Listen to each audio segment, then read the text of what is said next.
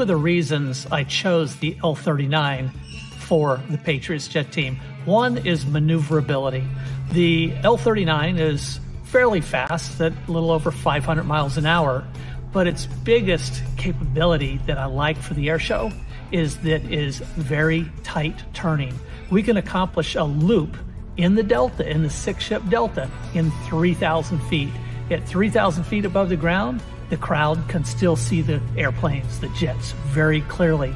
It will roll in a very short period of time.